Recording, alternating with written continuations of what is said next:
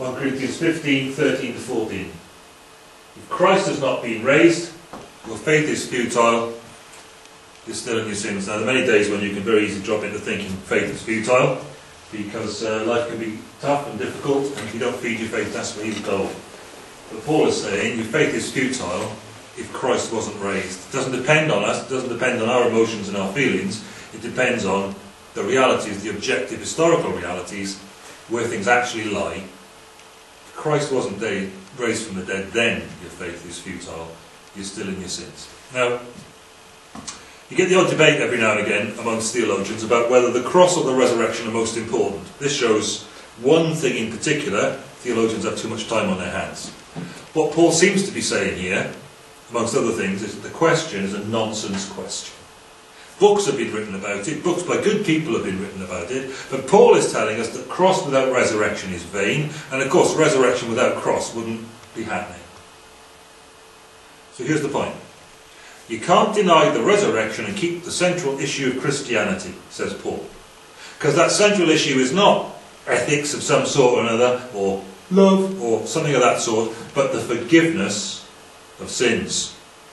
And the central issue in Christianity is that Christ died for our real sins, to turn away the real, genuine, just, righteous anger of God at the way we, His creation, have behaved in His world with the life He's given us. And that having paid the whole price of that sin, we're talking cross, that sin, we have ceased to be liable for the penalty of our sins. And we know that's the case because Christ ceased to be liable for the penalty that he bore, because having paid the penalty of sin, which is death, he then rose from the dead to show the penalty had been fully paid. Without Christ rising from the dead, what is his death? It's a disaster and it's a failure because he's still having to pay the penalty of it if he's still dead. The wages of sin is death. The fact is he's paid that off and therefore is back to life. And the trouble is that most of us have no previous experience of anything quite so unusual as someone being raised from the dead. People find it hard to believe things they haven't seen, don't they? Things that lie outside our previous experience. And the temptation, the temptation is there to be selective about how radical a set of things to believe, to make the belief set a little more respectable in our fundamentally secular society. It's not a new temptation to us, it's been around for a long time. So Paul writes about 55 AD if Christ has not been raised, your faith is futile, you're still in your sins, and he's doing it for people who are beginning to question. Two fundamental questions and answers then for this Easter. First question Has Christ been raised? Second question Has sin been forgiven? Okay, well, if Christianity's central beliefs are to be upheld, we need to be clear then about this. Has Christ been raised? Why is it held that Christ has been raised? Why do we believe that? The reasons for the resurrection lie in two groups. Firstly, first set of reasons, there's the documented eyewitness accounts. Secondly, there's the testimony to his ongoing life. So first of all, there are these eyewitnesses and, there are the accounts that have come down to us from them. Let's look first of all at who these people were. In 1 Corinthians, we know there were others in the Gospels, but in 1 Corinthians, Paul says here, 1 Corinthians 15.5, before our verses, he appeared to Cephas, that's Peter, and then to the twelve, that's the twelve disciples, twelve apostles. And after that, he appeared to more than 500 of the brothers and sisters at the same time, most of whom are still living, so you could check it out with them, though some have fallen asleep. Then he appeared to James, then to all the apostles. Last of all, he appeared to me also as to one abnormally born. So who were these people? Well, they were from amongst the twelve who'd lived cheek by jowl with Jesus for the last three years or so, watching his every move, hearing pretty much his every word. And familiarity normally breeds contempt. But these men went straight from being disappointed and distressed at the death of Jesus and the disaster of it all, they went straight from that to awe and worship and the laying down of their own lives for this Jesus because he'd been raised from the dead. They were the twelve. Then there were 500 of his followers at one time, and they went straight from disillusionment and despair to a determination to put their lives on the line for Jesus as well. And then there was James, and then all the apostles who would actually stake their lives and die for the truth of the resurrection. All put their faith in the fact that the Jesus they knew and saw killed and saw entombed had been raised.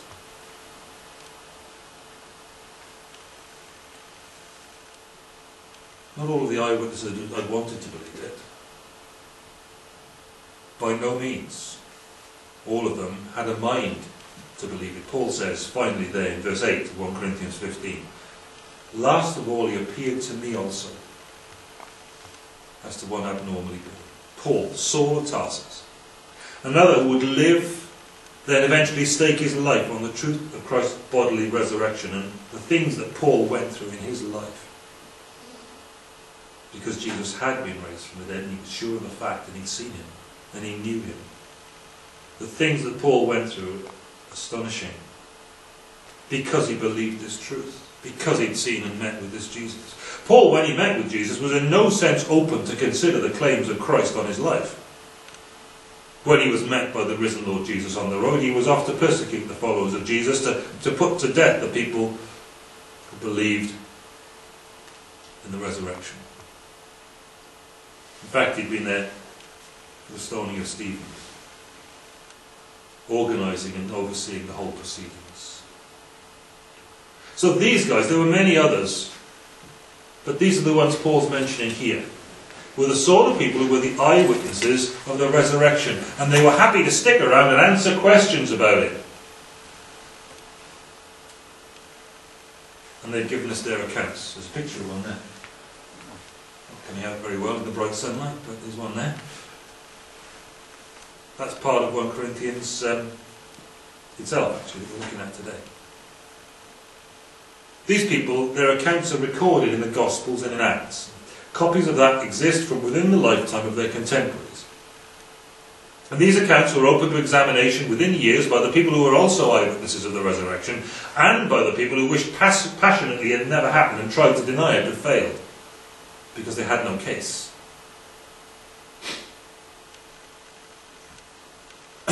We've got these accounts. Now, you would have thought, wouldn't you, that when so many people witnessed the same events, there'd be disagreement about quite how it was.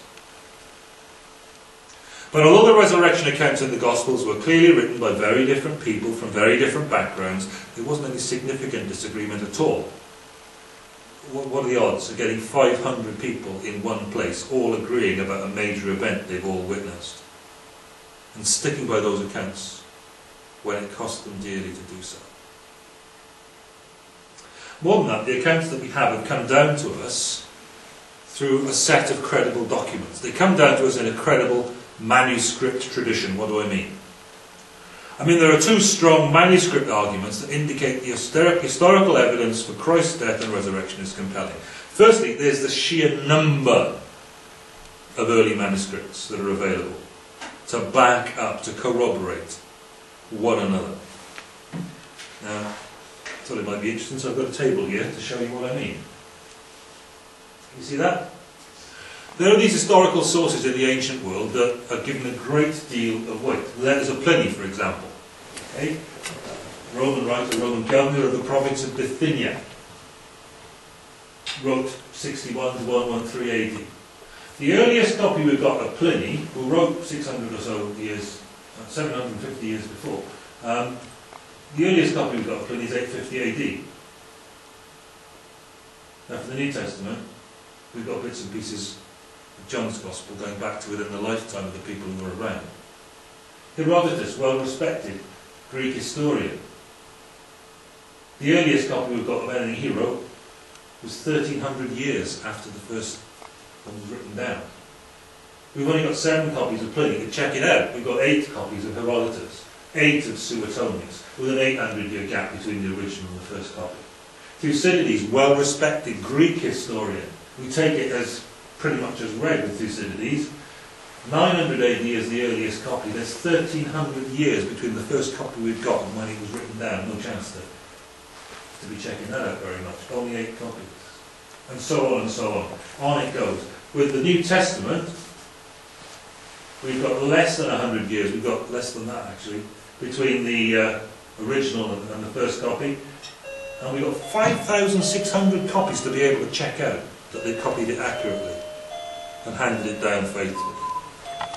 Now, no one suggests that Pliny's historicity is compromised by there only being seven copies of what he wrote coming down to us. No one suggests Caesar's Gallic Wars is unreliable because there are only ten copies to be compared to see that we've got the right text in our hands. 5,600 copies written within the lifetimes of people living through those events, supporting and corroborating the historicity of the text we've got about the resurrection. The sheer weight of the evidence for the New Testament's historical account of the resurrection is overwhelming. Historically, it's a well established fact. So, we're establishing the accounts were recorded in credible documents that come down to us in a credible tradition.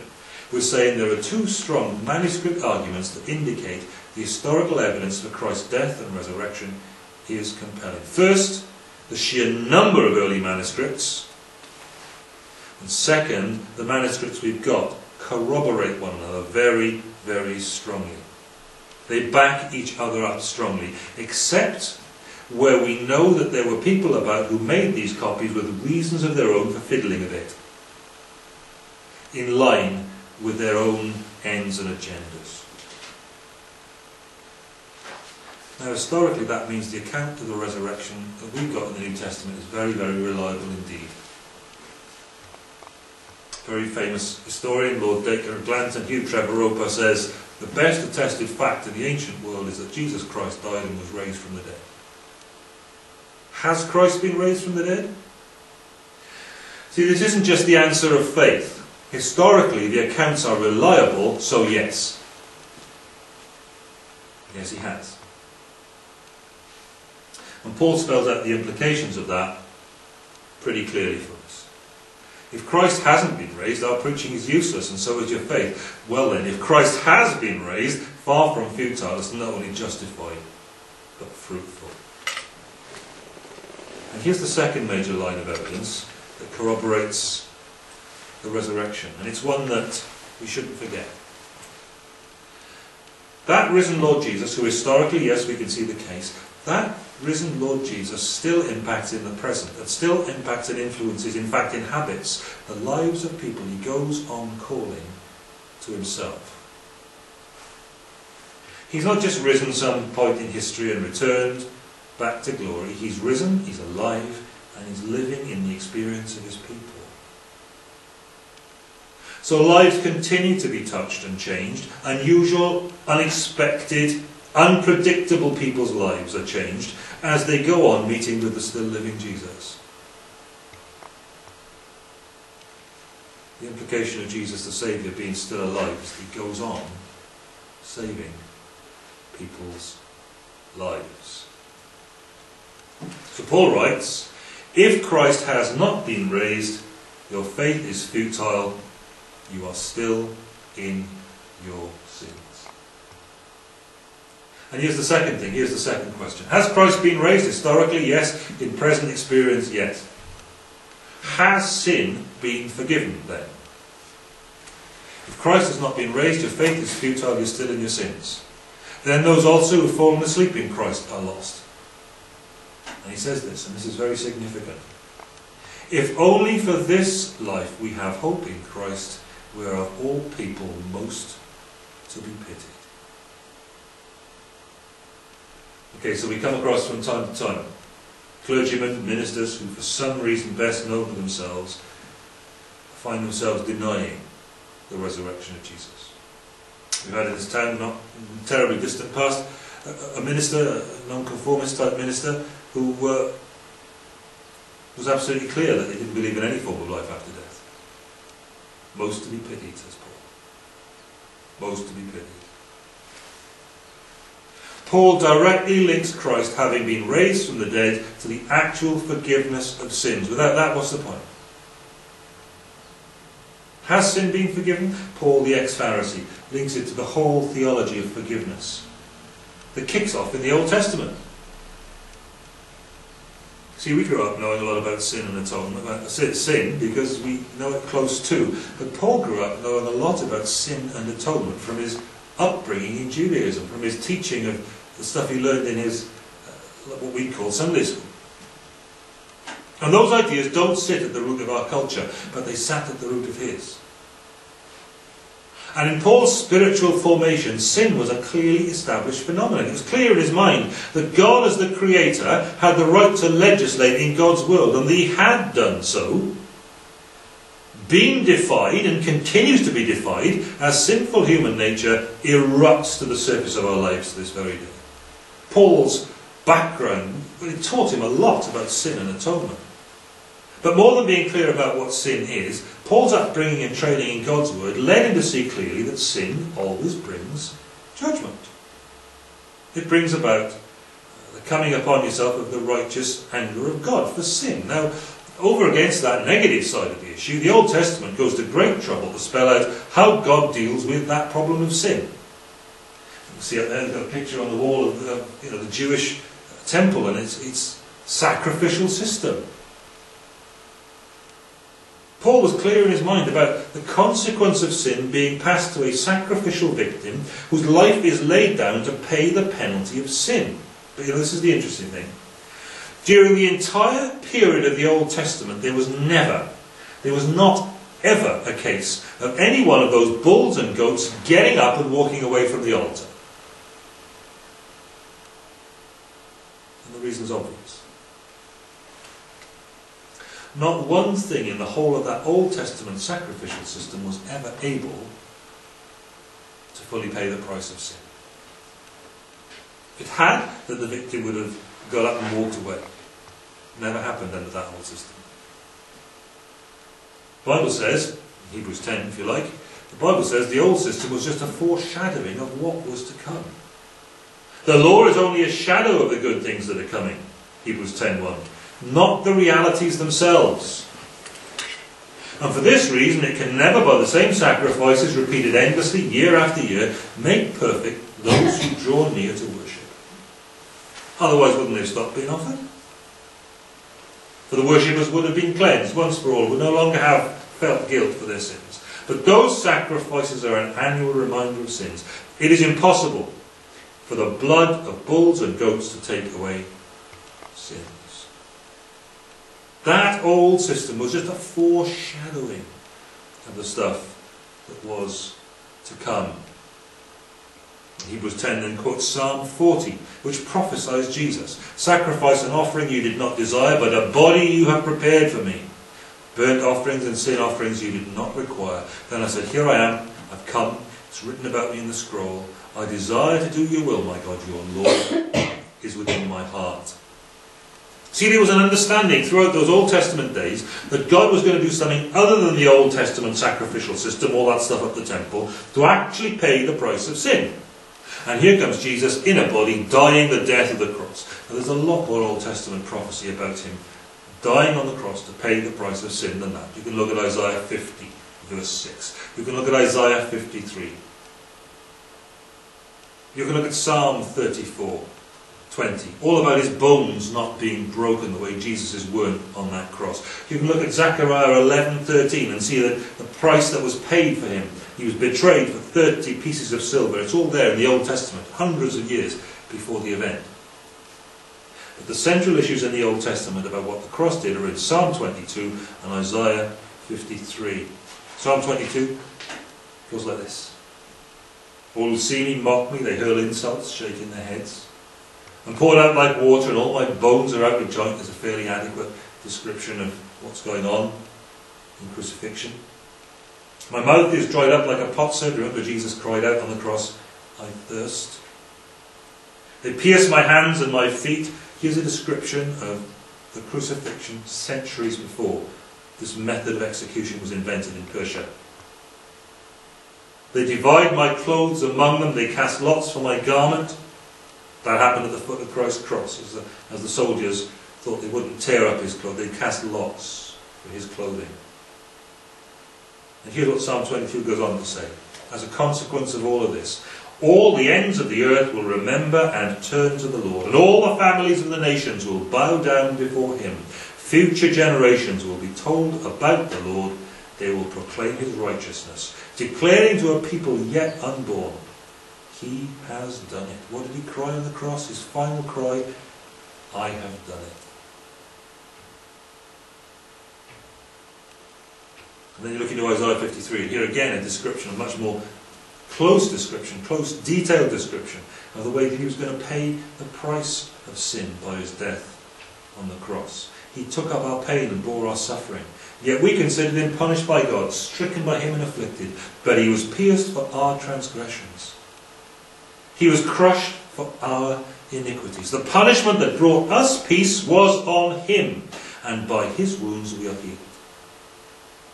Paul knows all this. We all, like sheep, have gone astray. Each of us has turned to our own way, and the Lord has laid on him the iniquity of us all. Paul knew that. And when he sees that Christ has been crucified in the way that he has in fulfillment of all that Old Testament scripture, which speaks about, prophetically, speaks about that happening to pay the price of sin, Paul knows that by Christ's death and resurrection, the price of sin has been paid, because it fulfills all that prophecy. Now, the New Testament picks up on all that background. What it says is not just that Christ truly was raised from the dead, we've seen that, but that the forgiveness of sin was the result of his dying and rising from the dead. And you can see why Paul's saying that, is because that fulfills all the prophecies about that in detail.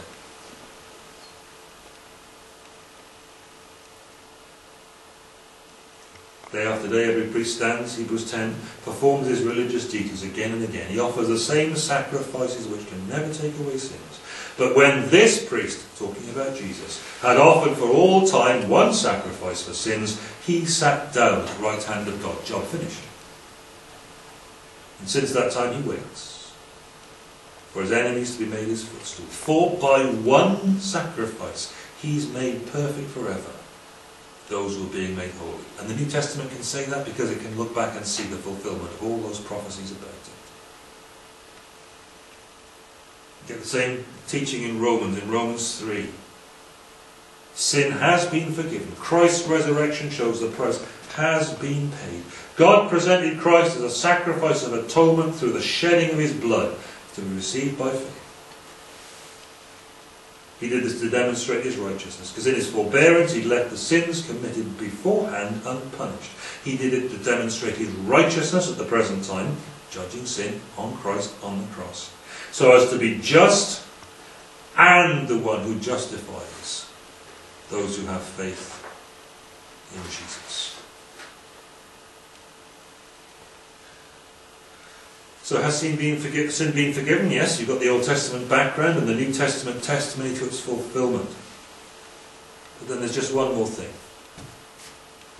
You need to consider the revolution in lives that we observe of people who've been crippled by guilt and sin and shame,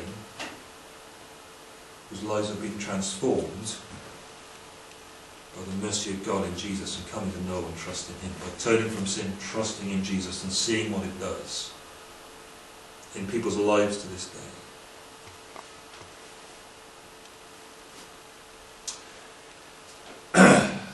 Are you still asking us to believe that Christ died and rose from the dead? How can that be? How can that happen? The Youth Club was saying that just, just a couple of weeks back. How can somebody rise from the dead? Well, you haven't seen it. But there is this to consider too, and it's a bit challenging in my opinion. In New Testament times, there were instances of those who were being raised from the dead, and you could go and speak to them. You could actually speak to Lazarus after Christ raised him from the dead. Uh, you could speak to Paul after he was uh, stoned in Lystra in Acts 14, surrounded by the believers who prayed for him, and then he walked back into the city. Or you could go to um, Ephesus and you could talk to Eutychus, who'd been sat in the window while Paul's preaching went on and on until after midnight, and fell out of the window and fell to the floor and was picked up dead on the ground below. He fell to the ground from the third story and was picked up dead, says Acts 20. And Paul went down, threw himself on the young man, put his arms around him. Don't be alarmed, he said. He's alive. Very much like Elisha, the prophet, had done with somebody many, many centuries before. Then he went upstairs again and broke bread and ate, and after talking until daylight, he left. And the people took the young man home alive and were greatly comforted because this guy had been raised from the dead. Now, to us, that looks a bit bizarre, doesn't it? Go on. So you know the guy who fell out the window? Yes, Eutychus, yeah. Yeah. Was he? Did he like? Was he so bored that he died? Bored to death. And he fell out the window. What we're told is that he was seated in the window. I'll read you this bit. Seated in the window was a young man named Eutychus who was sinking into a deep sleep as Paul talked on and on. Can you identify with that? And he was sitting on the windowsill. And when he was sound asleep, he fell to the ground from the third story and was picked up dead. so he was bored to death. I think he had possibly had a challenging day and Paul's sermon lasted quite a long time. I'm sure he wanted to be there, Yeah. but sometimes you can't help falling asleep when it goes on a bit. I'm about to finish. Now, whole, this whole thing about people falling to the ground and, and being, uh, whatever the circumstances, dying and being raised from it, it sounds to us a bit bizarre, doesn't it? We don't expect that. We expect the church to visit the sick and bury the dead, not heal the sick and raise the dead. But I've been looking at a book recently which has been quite interesting indeed, a very unusual book. And that book comes out of a research project looking at how the church undergoing persecution today deals with that and survives that persecution. In their experience, it happens that God raises dead people even today. And these things are documented for us. And it appears that in churches that have very little that we have and enjoy, and who are under pressure that we know nothing about for their faith in Christ, there are instances of God raising dead people today. In fact, it appears that not they, but we in the sceptical secular West are the ones that are out of line here. Because in Matthew 10, when Jesus sends out his followers, he sends them out to do this. Listen, Matthew 10, verse 7. As you go, proclaim this message the kingdom of heaven has come near. Can do that, not a problem. Verse 8 Heal those who are ill, raise the dead, cleanse those who have leprosy, drive out demons. Freely you've received, freely give. Look, Jesus says it's ordinary. Well, apparently it is in his extraordinary kingdom. But we don't see it. And that's the problem. It's not that he hasn't done it. So, conclusion. Christ has been raised. You can see it in the strength of the historical testimony of the fact and the effect of the living Jesus on the lives of his people to this day. it's more than that. Because by his death and resurrection, Christ demonstrates that at last the price of sin has been paid. Christ rose from the dead, indicating that the price of sin has been fully paid up, so that the penalty of sin is spent and has gone, death has gone, he has been raised. So Paul says, if Christ has not been raised, your faith is futile, you're still in your sins. But he has been raised. Historical fact. Demonstrable experience. So your faith isn't futile, and faith isn't futile. Because the resurrection shows that Christ has dealt with sin. Your faith, should you choose to accept it, puts right with God. And here's the evidence. And the decision is yours.